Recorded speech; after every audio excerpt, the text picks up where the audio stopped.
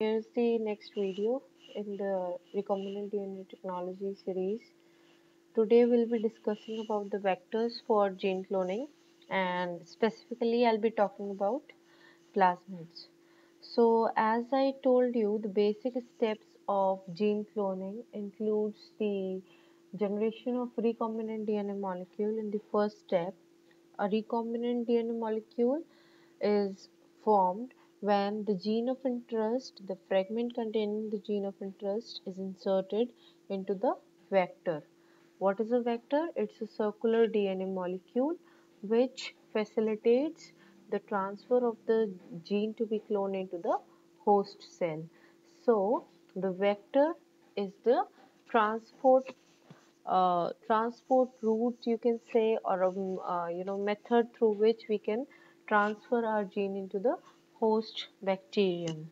So that is the importance of vectors and we'll be discussing the very first vectors that is the plasmids. So before actually discussing about plasmids, let us first have a look at the properties, the basic properties a gene or sorry, a DNA that should possess to act like a vector. So the first is the uh, it must be able to replicate within the host cell. So when we are generating the recombinant DNA molecule that is the vector plus our gene of interest and we are transferring it into the host cell, our main aim is to amplify our DNA or the gene of interest for any cloning purposes or for the production of any medicinal product etc. The first and the most important thing is we want to amplify it in the number or we, we want it to multiply. So the vector itself should be able to replicate and along with the vector our gene of interest will also be replicated. The next property of the vector includes that for cloning purposes the vector should relatively of small size. Ideally it should be less than or approximately of 10 kb in size why it should be smaller in size? Because if we will take larger vector molecules, then there are possibilities that it will be broken during the purification steps because larger molecules are very difficult to handle or manipulate. So that is why a vector should be able to replicate within the host cell and it should be smaller in size. So Based on the properties discussed above, there are two kinds of DNA molecules that, that can act as vectors. The first one is plasmid and the next is bacteriophage. So moving on to plasmids in this video, let us let me tell you that plasmids are circular molecules of DNA that lead an independent existence in the bacterial cell. So these are circular. First important thing, these are circular DNA molecule and the second thing is they are not connected to the bacterial chromosome. That is, they lie independent of the bacterial genetic material. So, these are circular molecules of DNA and they have an independent existence in the bacterial cell. Next is the plasmid usually it will contain a few genes. Uh, as usual it's a DNA molecule so it will have genes and what these genes will do they will confer the some characteristic properties to the host cell. Say a plasmid this plasmid contains a particular gene which will allow this plasmid will contain a particular gene which will allow the bacterial or the host bacterial cell to tolerate certain antibiotics. That is, it has the resistance against the antibiotic. So, the plasmid contains the gene which gives the bacteria this characteristic property of antibiotic resistance.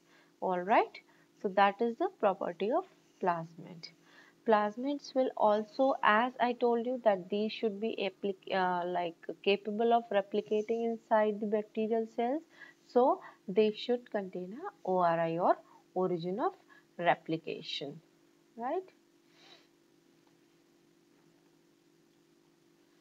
Next is let us uh, have a look at how the antibiotic resistance is used as selectable marker.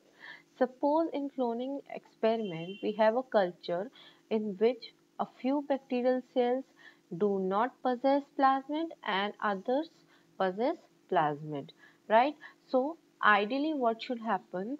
The bacterial cells containing the plasmid should be able to grow in the medium containing antibiotic and the cells without plasmid will die in the medium which contains the antibiotics and will survive in the medium which do not contain antibiotic. So, E. coli cells which contain RP4 plasmid having ampicillin and or tetracycline kanamycin all three resistance genes.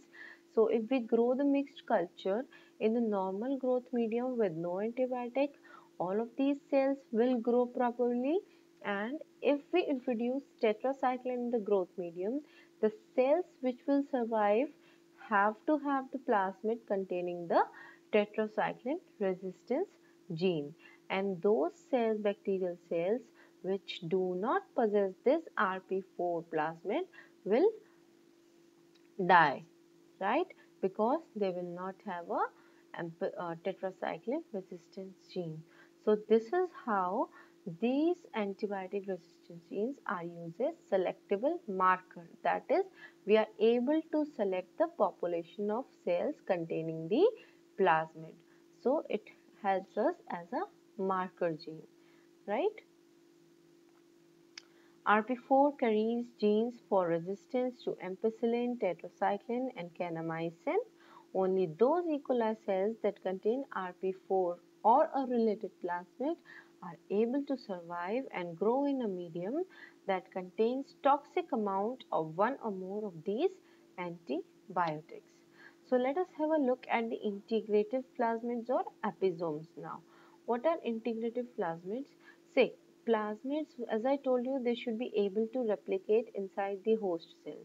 So, if they are existing in the um, bacterial cell independent of the its chromosome and replicating in number on its own, it is known as non-integrative plasmids. But a few plasmids known as episomes, what are their properties?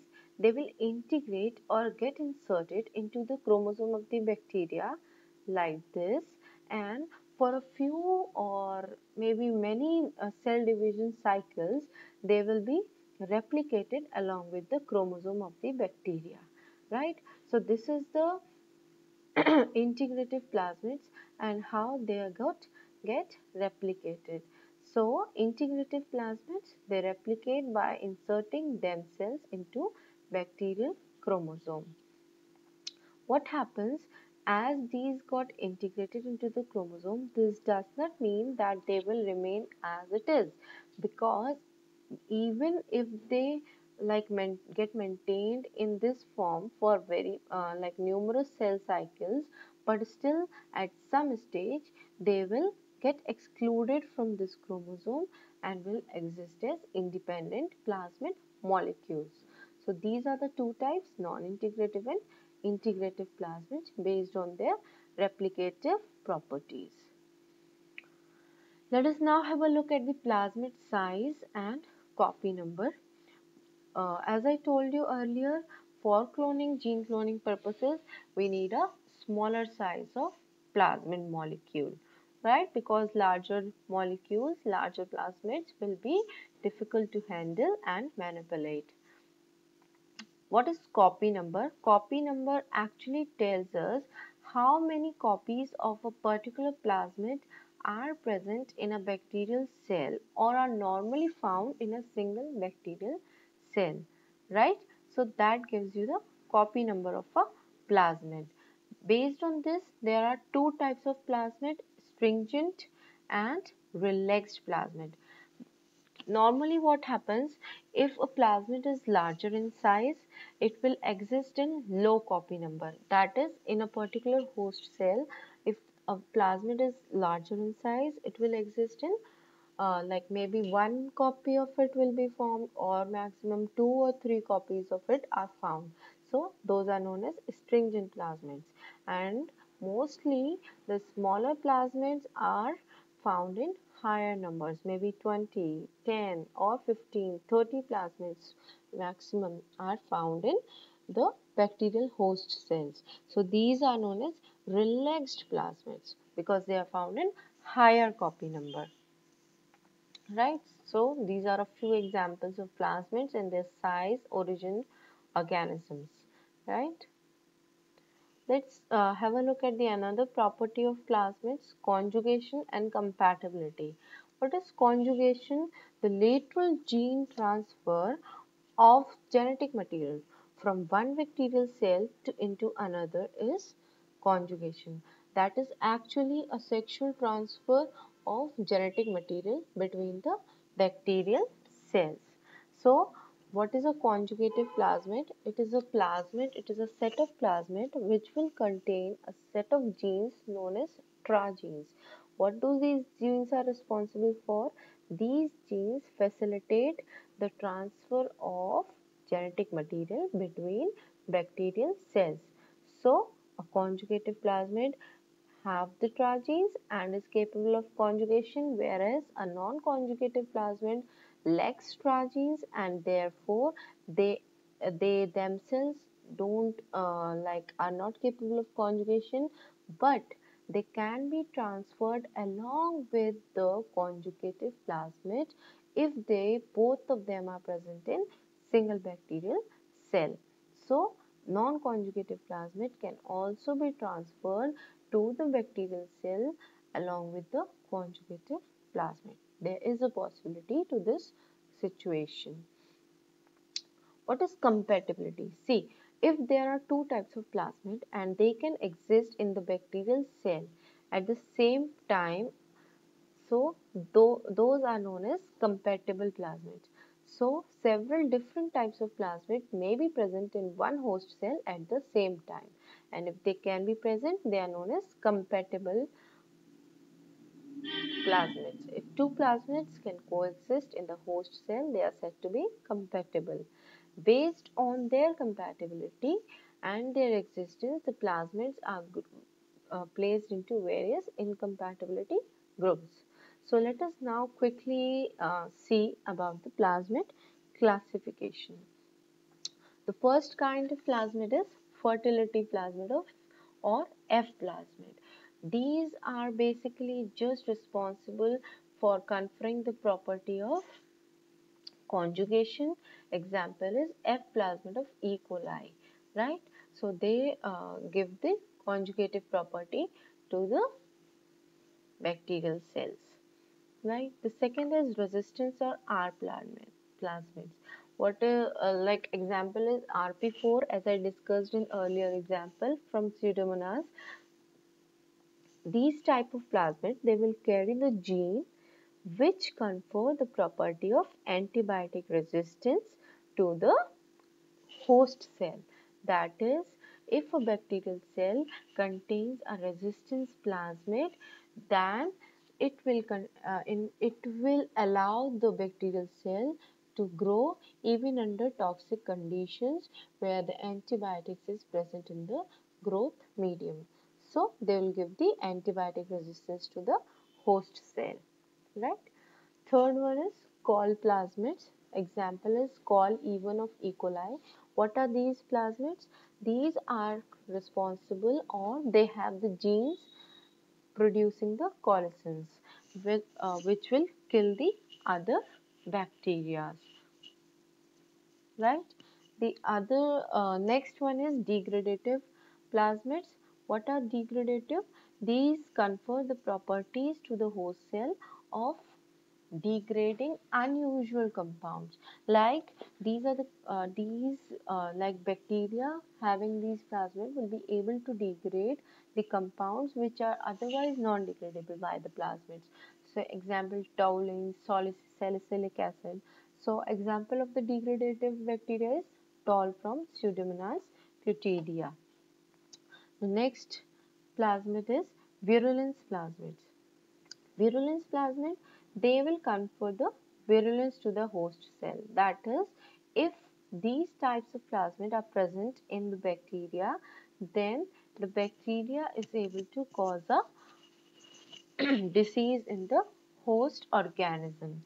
So the TI plasmid of Agrobacterium tumefaciens which uh, will induce crown gall disease on dicotyledonous plants right so that's uh, like that's all for the plasmids and the introduction about the plasmids as vectors. In the next section i will discuss about bacteriophages for you guys. Alright? If you don't understand something if you don't uh, you know um, if you are stuck at somewhere just leave me a comment. I'll clarify it. And do let me know if you uh, want to add something and just press like and subscribe to my channel before leaving please. Thank you. Bye bye